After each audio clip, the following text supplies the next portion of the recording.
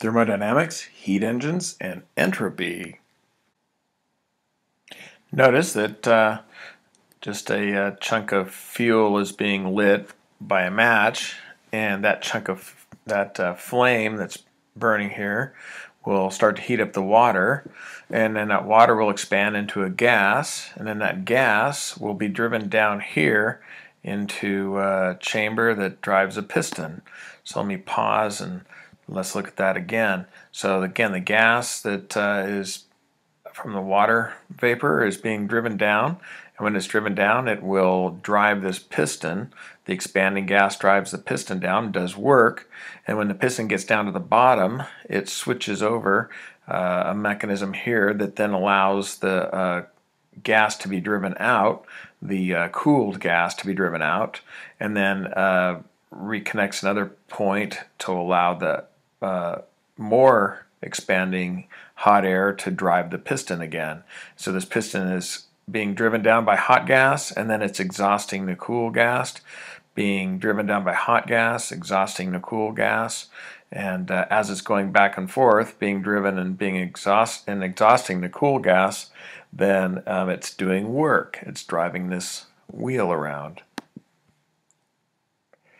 And this is a form of a heat engine known as a steam engine. This is just a very uh, unique one because it's made entirely out of glass, which is incredible. There are uh, uh, no fittings or anything. This is all completely made of, out of glass. It's a beautiful piece of artwork and machinery. But look at that work being done by the hot gas coming in and the cold gas being driven out of these uh, chambers and driven through the through this piston system. So let's take a look at uh, what was going on with that steam engine from a physics point of view. And we're going to start off with our ideal gas law. PV equals nRT. P is pressure, V is volume, N is the number of molecules, and R is a gas constant. These two things remain pretty much the same for what we're talking about. And T is temperature. So really, pressure, volume, and temperature are the things that we're looking at here. So as the temperature rose, as the uh, steam, uh, the water was boiled and the steam was created, the temperature rose, the uh, pressure rose, and that increased the uh, volume, the uh, gas started to expand. And when the gas started to expand, the piston is driven and work is being done. A force is being uh, applied, a force is being applied through a distance, and this piston is being driven uh, without work. So there's an equivalent with work with force and distance and pressure and a changing volume as the volume is expanding and doing work. If you can look at this derivation here, force times distance is pressure times the area of the piston times the distance that the piston is driven. That's the volume. So pressure times a change in volume does equal work. And that's what was happening here with our expanding gas doing work when the pressure created a change in volume. So what we just saw was what we would call, in, in essence, a, a heat engine. And so, in other words, we had a, a heat source, uh, the flame and the uh, water boiling, creating gas. That heat source uh, through the gas expanding in the piston system did mechanical work driving that flywheel as the piston was being driven and then when it exhausted uh, the exhaust came out with a cooler uh, steam than it went in and uh, so we did lose some energy because that gas had to cool down. We had to exhaust it in order for us to have the piston draw back into uh, the, the cylinder. And so we had to expel some energy that we just couldn't use in, in our system. So these are the losses, kind of like the uh, non conservative work that's done. Uh, these are the losses in the system. So we have our total energy going in, we get some useful work, the turning happening, and then we get losses in our system. And so any engine that's doing work for us that's useful has a particular efficiency, and that efficiency is always going to be less than 100% or less than 1. And we can find the efficiency by taking the amount of work that we get out and dividing it by the amount of energy we put in, this heat energy. And that's a simple, the simplest way to explain a heat engine. Don't get too nervous about uh, heat engines. They're really pretty simple to calculate uh, information from. Here's our, our uh, heat engine.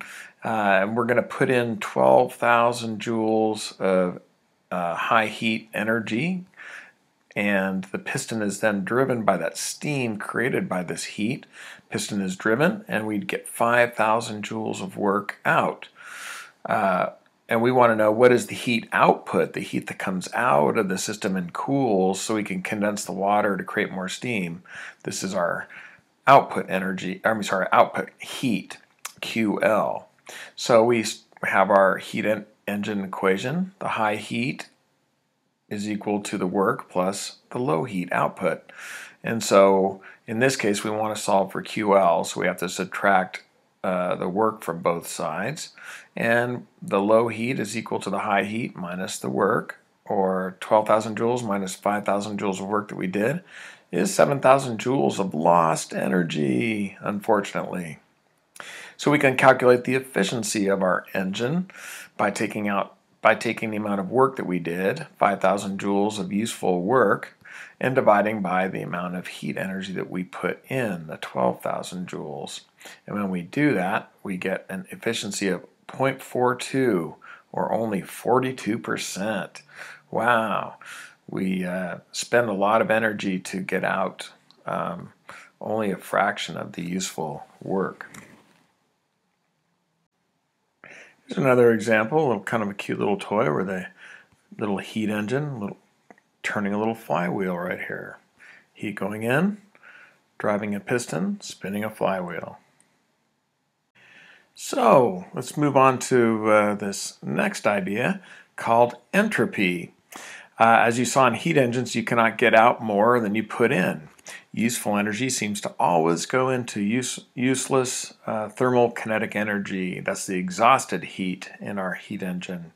And we can go back to our non-conservative uh, conservation of energy mathematical model. And uh, so this is showing you that that uh, exhausted uh, the the potential energy of the flame, uh, the fuel for the flame, is turning into uh, translational kinetic energy that through the flywheel is rotational. Uh, the the engine does heat up itself, so there's internal thermal kinetic energy, but then there's that Q low, that uh, heating that goes outside the system that's exhausted, and that is this term that we were used to before. Well, so eventually all of the energy, even the rotating and translating energy, will go into heat as well. And so this is the idea that everything goes into molecular motion eventually and uh, gets dissipated into random molecular movement. And that's this idea of disorder uh, increasing in a system, and that's called entropy. We had a nice ordered potential energy of the um, fuel and then uh, it went into uh, useful work for us, but then also into uh, unused random molecular motion. And in any system, the entropy always increases. The amount of disorder in a system always increases. For an example, if I pull somebody back on a swing and let them go, they will eventually slow down and stop. Well, what happened to all that energy? It went into random molecular movement. The entropy increased in the system, the amount of disorder increased. Here are some examples of increasing entropy. You clean your room and it'll get messy again soon. Build a sandcastle, it will be washed and blown away. You can jot down the rest of these. They're all good examples of increasing disorder and decreasing organized energy. Order takes energy. Again, if you want to swing a child, you're going to have to keep pushing. You can't just pull back and release once. Every once in a while, you have to do more work. You have to put energy into the system to keep it orderly. Unfortunately, disorder happens naturally and entropy always increases. So, does this mean that all of the energy in the universe will turn into useless thermal kinetic energy eventually? Yes, but the energy won't run out for a long time. We get some of our energy from sources here on Earth. As we fight entropy, those sources will eventually run out. However, the sun is our main source of energy and it's estimated to last another 5 billion years. However, uh, planetary studies suggest that potentially Venus and other planets might run into each other and even collide with the sun and cause some other kind of cat catastrophic event. But uh, that won't happen, they estimate, for another 40 million years. So I think we're good to go. And Scratch's parting thought. And good luck on your quest for continuous improvement.